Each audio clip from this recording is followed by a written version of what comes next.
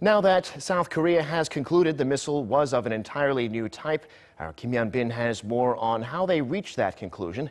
It's not only the shape, the missile appears to have two engines rather than one.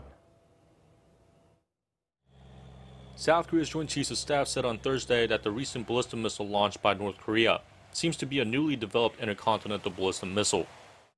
After initial analysis, we believe the Hwasong-15 is a new type of ICBM. The assessment comes as the North released photos stating that it was a new and more powerful ICBM. After analyzing the photos, the JCS concluded that there is a clear difference between Hwasong 14 and Hwasong 15. There are clear differences in the appearance of the Hwasong 15's warhead, the connection part between the first and second stage of the missile, and the overall size. Unlike the Hwasong 14, which had one engine, experts say the Hwasong 15 was equipped with two engines. The picture shows that there are two engine nozzles, then there are two engines attached. The Hwasong 15 warhead is relatively round, while the Hwasong 14 is sharp.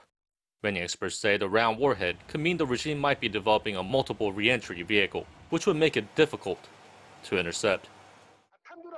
The multiple re-entry vehicle could mount several warheads and one missile can have the same effect as 10. From North Korea's perspective, it's a very attractive weapon. The expert believes that if North Korea fully develops its miniaturized warhead, the Hwasong 15 could mount at least three nuclear bombs. Pyongyang fired two Hwasong 14 missiles for the first time in July. The South Korean military is looking to see if the regime was capable of developing a new ICBM in just a few months. Kim Hyun-bin, Arirang News.